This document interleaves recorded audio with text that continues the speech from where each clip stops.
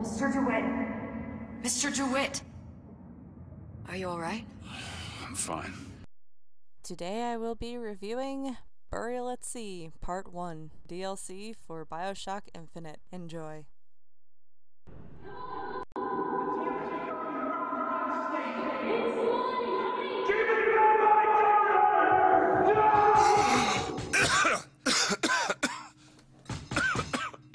We're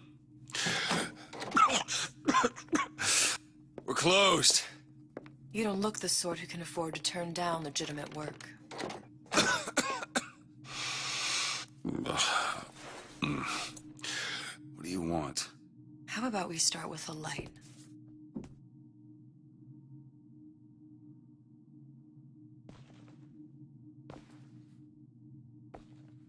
Well, you got a name, miss? Elizabeth.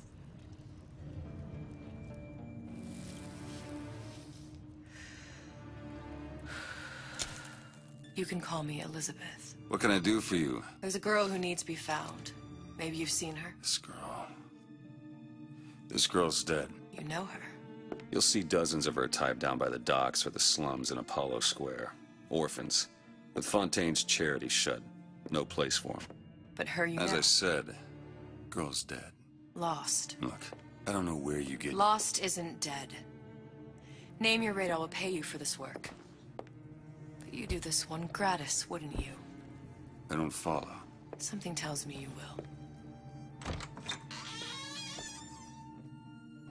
Playing as Booker DeWitt, you are hired by Elizabeth to find a little girl named Sally.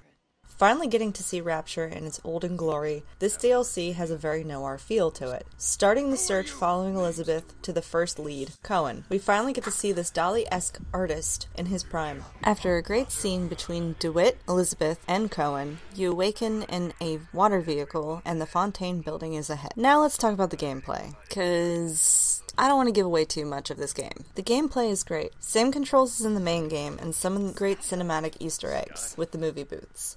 The story runs pretty smoothly, the graphics are as good as the main game, and it helps to set the framework to fill in the plot holes between Bioshock Infinite and the original Bioshock. It's well immersive, and it took me only a few hours to get through, but it was a great DLC. I'm giving this DLC a 7 songbirds out of 10.